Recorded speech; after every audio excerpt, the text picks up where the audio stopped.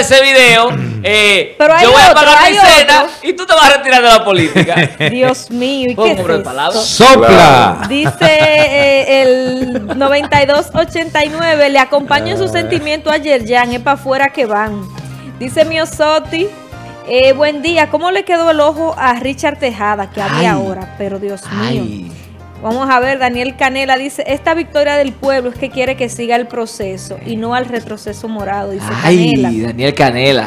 Da- Daniel, eh, chequeate los semáforos de San Francisco, que la mayoría están apagados. No es semáforo, no, es política, es derrota, es pela. A propósito de eso. Miren, pero miren cuántas cosas, ¿y qué es esto? No, pero José Guillermo nos manda una foto de una dama que al parecer Milady no Saca, quiso saca, ayudar saca. A una señora. Ah, bueno. Eso no. No, no, un asunto de salud que al parecer Ah, no, no, no le entonces quiso que, no- ayudar. que, no- que nos llame, que nos escriba privado para ver. eh, Bien. La señora tiene un problema renal. Bueno, vamos a aprovechar el momento. Vamos, tenemos con nosotros a Antonia Santana, politóloga, Tres millones de quien, eh, con quien vamos a conversar acerca de qué dice esto que ha pasado en la República Dominicana, qué significa el hecho de que las elecciones en el día de ayer se hayan dado de la forma como se dieron y los resultados que mucha gente no esperaba. O sea, mucha sorpresa. Hoy, hoy día hay sorpresa, bembita, lágrimas Sí, y alegría. Como es natural. Exacto. Buenos, Buenos días, Antonia. Qué Buenos bueno días. tenerte aquí. Placer Buenos días, verte. buenos días, Antonia. aquí dinámico que, bueno, ya me, me alegré la mañana. Sí. ¿Cómo así? De verdad que sí, ¿no? Porque ustedes tienen aquí una chispa. Ah, bueno. La energía de la gente, Antonio, escribiendo. Yo estoy contento porque me van a pagar una cena.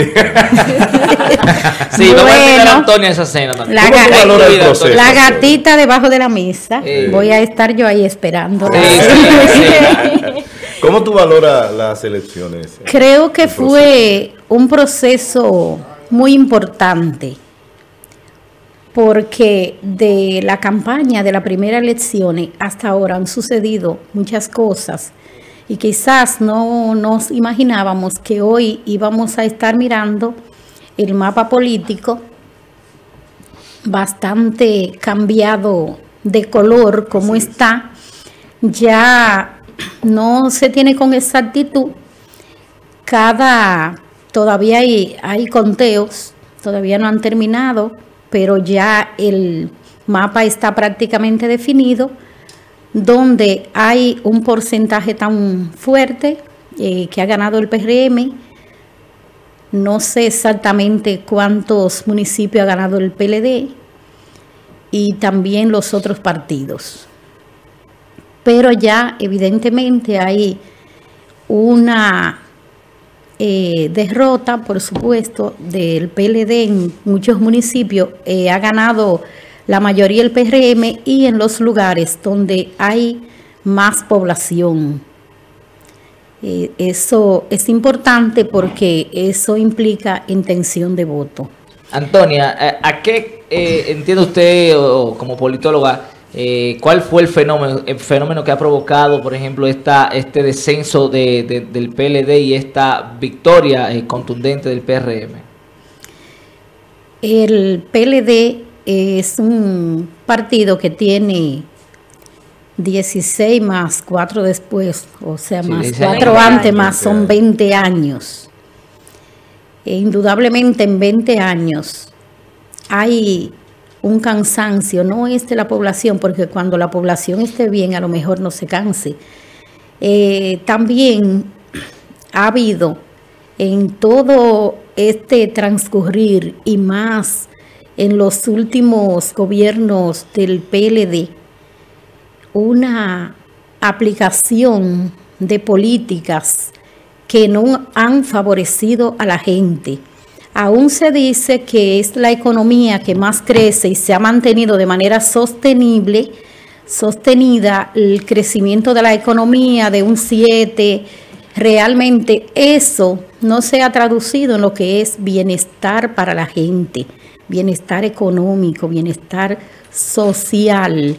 ¿Y qué ha pasado? Que la economía ha crecido en muchos sectores que no se eh, redistribuyen hacia la población y aunque se diga que no hay pobreza en el país, ha crecido la pobreza porque cuando usted no tiene acceso a vivienda que pueda eh, ser eh, asequible para muchos sectores, cuando usted no tiene servicios públicos de calidad que le garanticen salud, que si hay una enfermedad no le dé a todo el mundo y muchas otras cosas, cuando el sistema de salud se invierte menos de un 2%, donde la media de América Latina, no estamos hablando de otros países, es de un 4, un 5, la educación, el 4%, no se ha traducido en lo que la persona pensó, porque se ha invertido mucho, sin embargo, la calidad de la educación no ha sido afectada positivamente por esa inversión. Otro, otro elemento importante es la corrupción. No hay que decirlo, y la falta de consecuencia para aquellas personas que han actuado en la corrupción, ya eso se ha dicho muchas veces.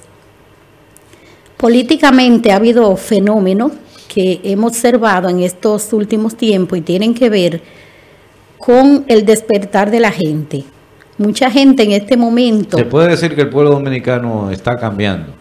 Bueno, hubo elementos de cambio. Yo a veces soy un poco reservada en decir que se cambió porque si observamos las elecciones se compró voto, si el que vende el voto le están diciendo que vale 500 pesos, que vale un picapollo, que tú no mereces políticas públicas, sino que aquellas personas que te están comprando el voto eh, te van, van a ser gobernante y tú vas a seguir en el mismo estado.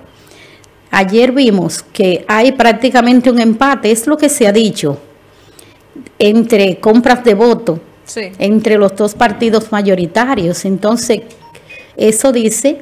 Deja mucho que desear. Que hay que trabajar mucho en la gente.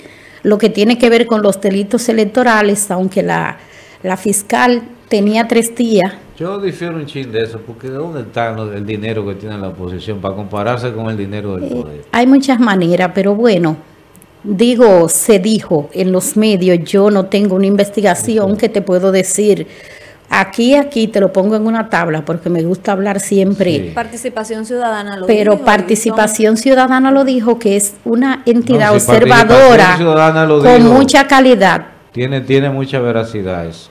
Entonces todo... Yo no, no entiendo es la forma porque yo siendo hay un mercado grande de droga de, de ay excúseme señores que, que yo, como yo, trabajo yo siendo coordinador de esa área de, ah, ah, yo siendo coordinador de campaña eh, cómo uno se desenvuelve con voluntades prácticamente Antonia quiero hacerte cuando les responda te voy a hacer la preguntita. Eh, me gustaría que nos diga tu parecer sobre el perfil o la situación en este momento del presidente Medina. Eh, hay gente que ya le está tildando de que esta derrota y el debacle del PLD se ha debido a las acciones que él, ha tenido dentro del partido y la salida de Leonel, si se quiere. Eso es, eh, no había terminado de, analizar eh, los elementos. Eh, la parte política que venía comentando de que la gente ha despertado es como en opinión pública eh, hay un momento en que se quita la tela y la gente dice, hay esto, quizá cosa que la veía, pero es como un manto. Luego lo que tiene que ver que ha pasado en el PLD. O sea, es eh, un partido que viene dividido desde adentro hace mucho, que había una guerra campal en todos los sentidos dentro del PLD hasta llegar a las primarias, donde ya sabemos lo que pasó y también que se impuso un candidato, lo impuso el gobierno y pasó a la primaria. Si no se hizo la, si no se hizo el fraude en las primarias, se hizo afuera, porque cuando tú tienes el poder para tú imponer un candidato, tú también estás haciendo un fraude. Cuando tú estás manipulando, tú también estás haciendo un fraude. O sea, cuando las elecciones eh, se hicieran eh, sacando toda esta actuación que hay en términos de lo que es la campaña, el poder, el uso de los recursos, y todos, inclusive aquí el país paga unas elecciones muy caras.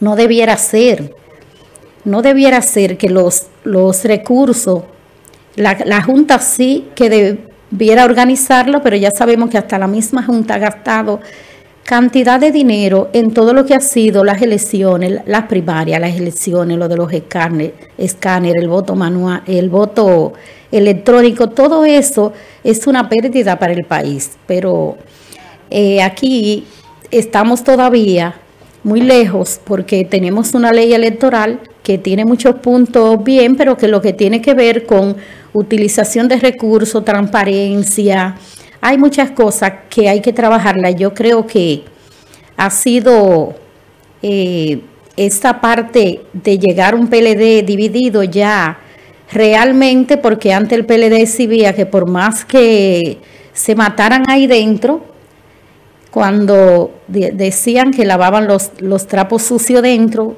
pues esos trapos se rompieron y ahora llega un PLD dividido eh, un PLD también con una presión social a raíz de lo que pasó en las pasadas elecciones frustradas, eso también gravitó mucho porque la población entonces se alzó en contra de.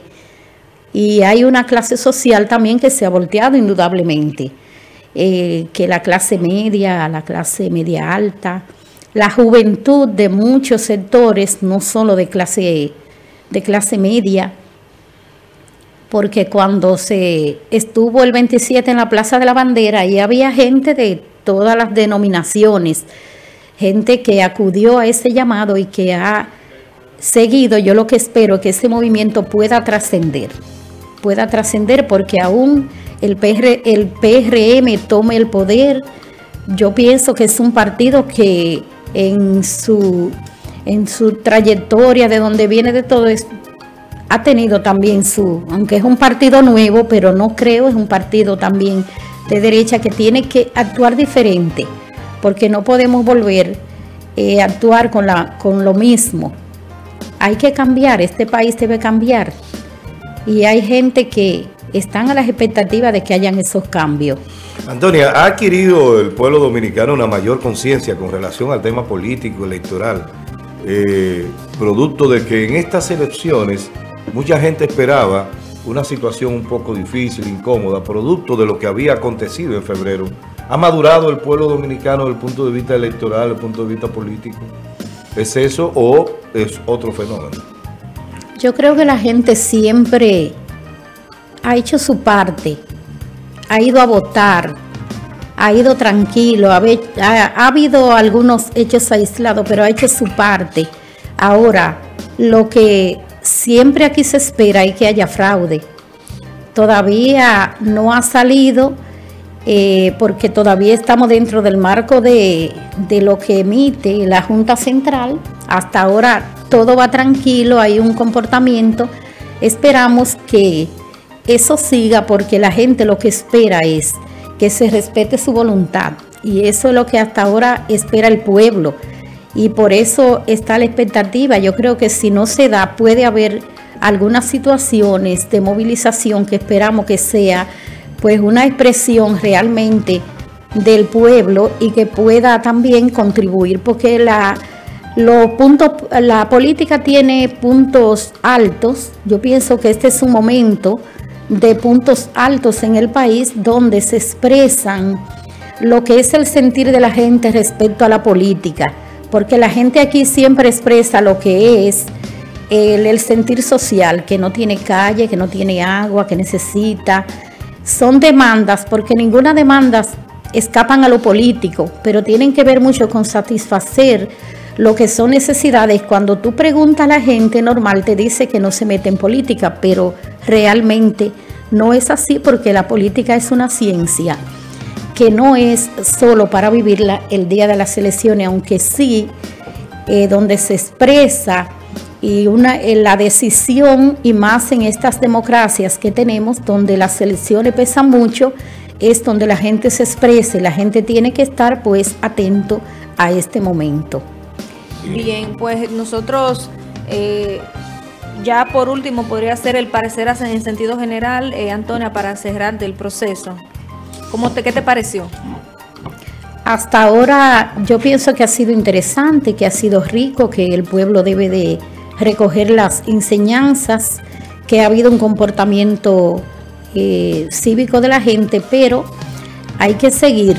Pienso que la gente de a partir de ahora, lo que se aprende, hay que dimensionarlo, hay que seguir adelante. Yo creo que este pueblo debe de tomar en sus manos la parte política. Bueno, agradecemos a Antonia. Antonia Santana la participación, las orientaciones, las opiniones acerca de cómo ha acontecido, cómo aconteció el proceso electoral eh, recién pasado, eh, escasamente el día de ayer.